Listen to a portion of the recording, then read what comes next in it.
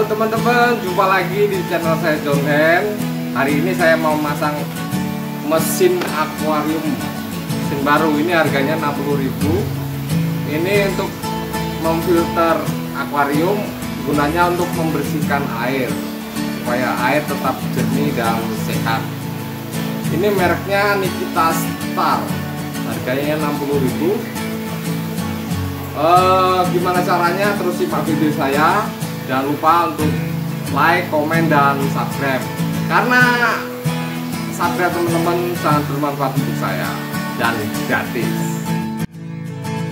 Kita buka dulu ya teman-teman isinya. Kita lihat apakah semuanya lengkap.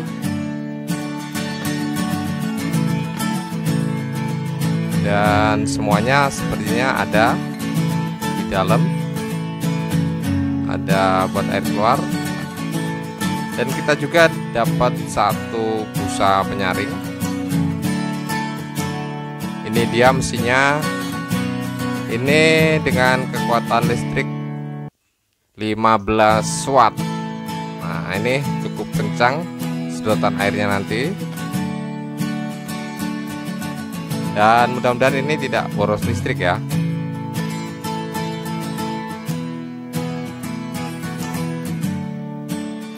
ini ada selang. Ini untuk selang ngambil udara. Dan nanti untuk menimbulkan gelembung pada mesin ini. Ini selang ini harusnya dipasang di sini. Tapi untuk kali ini saya tidak akan memasang gelembungnya. Ini akan kita tutup. Karena kalau kita pasang gelembung maka air yang keluar akan lebih sedikit. Jadi kita tutup saja supaya sirkulasi airnya yang tersaring akan lebih banyak. Ini tutupnya. Nanti kita tutup semua. Kita sisakan bagian yang untuk keluar air. Dan ini karet untuk menempelkan ke akuariumnya supaya mesin ini dapat berdiri. Dan ini saringan bawah supaya ikannya tidak ikut tersedot ke mesin.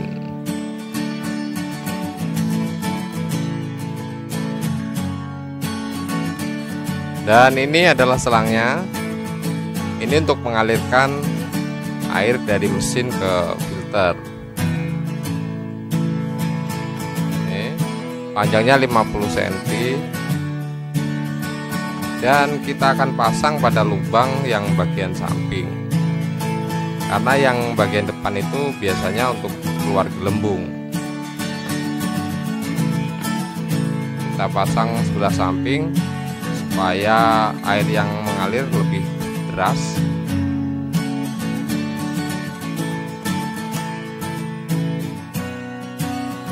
Oke sudah terpasang selang ke mesin. Dan ini untuk bagian filter bagian penyaring. Ini ada lubang dan untuk keluar air air bersih kita pasang. Dan satu lagi ini untuk penyangga. Ini penyangga busanya. Supaya di bawah busa itu masih ada rongga air mengalir. Oke kita buka dulu busanya. Ini kalau kita beli yang baru seperti ini di toko akuarium itu ada yang 2000 3000 dan 5000 untuk yang ini sepertinya ini yang harga 5000 oke seperti ini busanya. Ini nanti kita pasang ya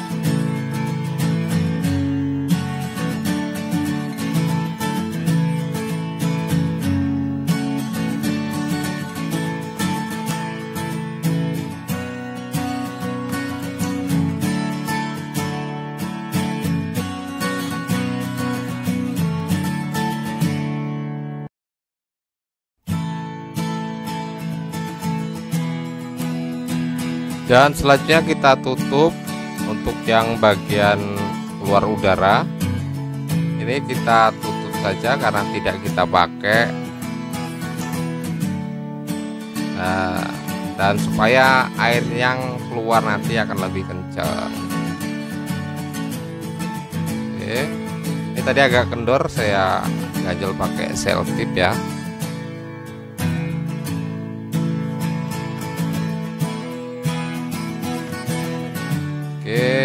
sudah siap.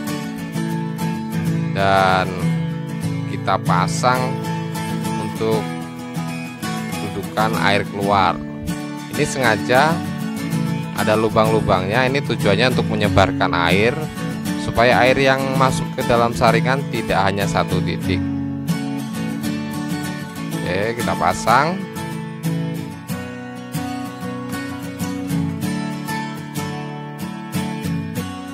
Oke, sudah dan selanjutnya kita pasang busa filternya. Eh. Nah, seperti ini pasangnya. Itu penyangganya udah saya taruh di bawah tadi. Dan siap kita pasang. Dan untuk lebar saringan ini udah ada setelannya ya. Nah, jadi kalau ukuran akuarium lebar bisa kita lebarkan dan sekarang kita langsung pasang mesinnya. Kita pasang mesinnya ke kita tempelkan ke kaca. Dan selanjutnya kita pasang untuk air keluar. Nah. oke seperti ini ya teman-teman.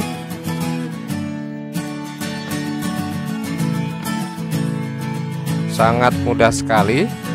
Jadi sistem air ini air akan terhisap oleh mesin dan langsung dialirkan ke busa penyari.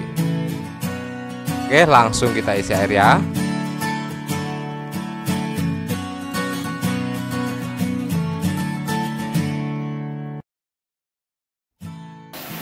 Ini sudah terpasang sudah kita beri air.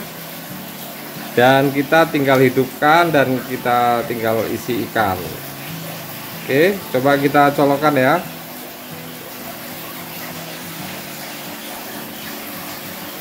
Ini colokan langsung.